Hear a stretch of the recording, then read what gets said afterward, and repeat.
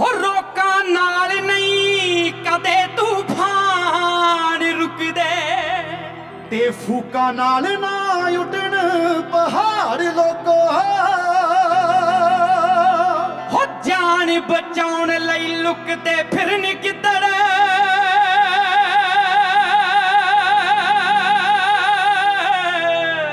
ਹੋ ਬੱਬਰ ਸ਼ੇਰ ਦੀ ਸੁਣ ਕੇ